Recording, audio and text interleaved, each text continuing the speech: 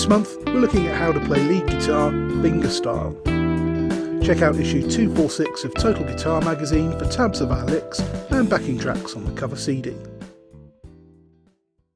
Before we look at the pick hand technique, it's worth looking at the notes you'll be playing. All the action takes place on the second and third strings, apart from the last note, which is a 12th fret harmonic. Let's play that once again.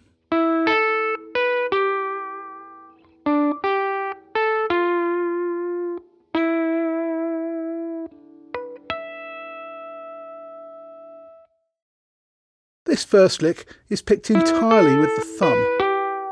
The reason for doing this is that you can use your other fingers to control the whammy bar. Jeff Beck in particular plays like this. You can't really play anything very fast because your thumb is doing all the picking, but you have plenty of control over the bar.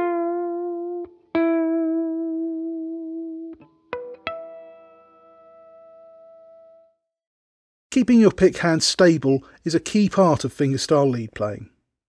Here, in this lick, most of the stability comes from resting on the whammy bar.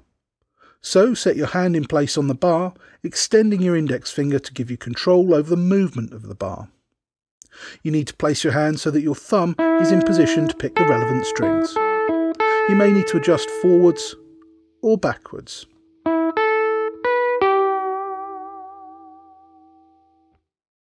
Start to play the lick.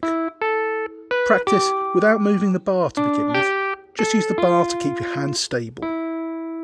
As you get comfortable with thumb picking every note, try adding just a little vibrato to the longer notes.